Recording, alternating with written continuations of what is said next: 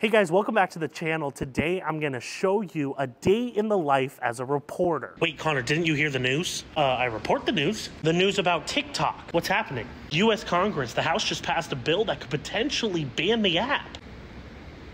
The clock may soon be running out on TikTok. The U.S. House of Representatives passing a bill Wednesday that would prohibit TikTok from U.S. app stores unless the platform is divested from its China linked parent company, ByteDance. Lawmakers' biggest concerns with the platform is national security and privacy. I have no problem uh, with continued dance videos or even political campaigning on TikTok so long as the ownership structure changes. Over the years, 10 News has covered multiple stories of people not only using the app to create content, but also going viral. I'm Dan Willingham. I'm a professor who studies human learning. UVA psychology professor Daniel Willingham gained a following after posting videos to help students with learning advice. I've got three really easy, really quick ways to improve your writing. The professor now has over 128,000 followers, but all could go away. The threat of a TikTok ban is there. So, what is your kind of reaction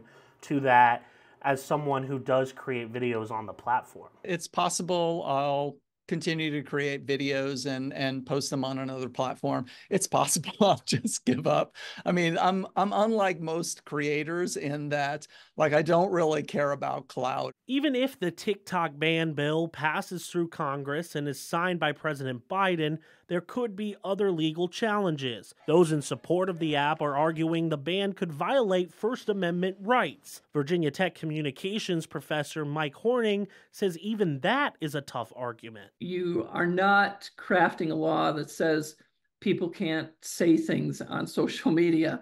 You're crafting a law that says this app is raises a national security risk. The bill does still face challenges within Congress as some senators warn of the risk of alienating young voters. And one final question is what sort of precedent a ban on TikTok could have for future apps created down the line? Reporting Connor Dietrich 10 News, working for you.